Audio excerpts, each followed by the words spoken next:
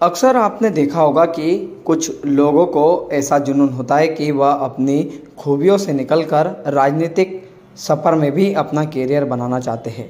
ऐसा ही एक मामला मध्य प्रदेश के बुरहानपुर ज़िले से सामने आया। बुरहानपुर ज़िले का बॉलीवुड के नक्शे पर नाम चमकाने के लिए टीवी कलाकार मोहम्मद हनीफ खान ने भी विधानसभा का चुनाव लड़ा, लेकिन उनको कामयाबी हासिल नहीं हुई। उन्होंने हौसले को कम नहीं होने दिया और पुनः प्रयास करने की बात कही।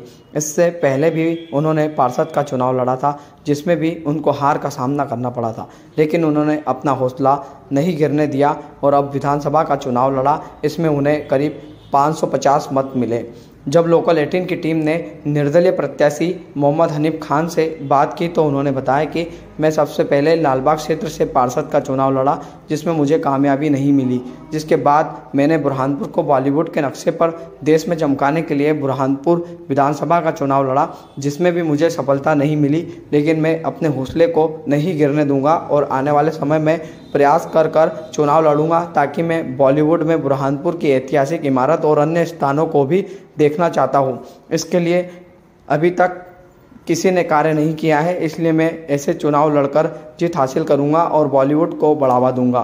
फ़िल्म स्टार अनिल कपूर के साथ उन्होंने नायक फ़िल्म में काम किया है और वही बड़े पर्दे के आधा दर्जन से अधिक ऐसे कलाकार हैं जिनके साथ वे बड़े पर्दे पर नज़र आए हैं।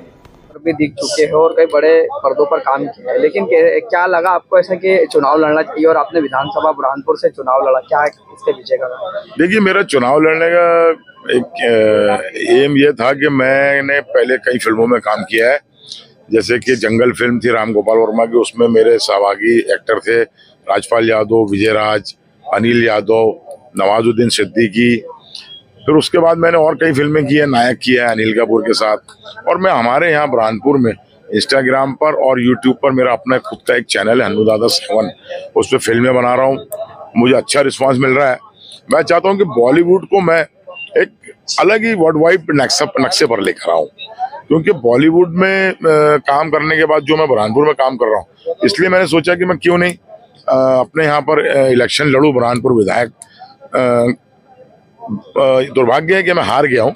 पब्लिक ने उसको एक्सेप्ट नहीं किया लेकिन मैं फिर ट्राई करूँगा फिर कोशिश करूँगा। क्या कमियाँ लगी आपको? क्या कारण रहा? कारण? कारण ये रहा कि थोड़ा सा समय कम था मेरे पास। थोड़ा पैसे की कमी थी। और थोड़ा और मेरे को और मैं फ़िल्में बनाकर और खूब मेरा ये प्रचार हो जाएगा। प्रचार में भी थोड़ी कमी आई थी मेरे को। आप पार्षद भी चुनाव लड़े हो मैं पार्षद का लेकिन फिर भी जी हाँ मैं एक बार पार्षद का चुनाव भी हार चुका हूँ। दूसरा चुनाव में विधायक का हार चुका हूँ। लेकिन आइंदा जो महापौर वगैरह का इलेक्शन होगा मैं उसमें भी कोशिश करूँगा तब तक मैं अपना जनाधार बढ़ा लूँगा पब्लिक में पॉपुलरिटी बढ़ा लूँगा और मैं एक बार चुनाव जीत के रहूँगा। क्या नाम आपका? ये मेरा नाम मोहम्मद हनीफ खान है।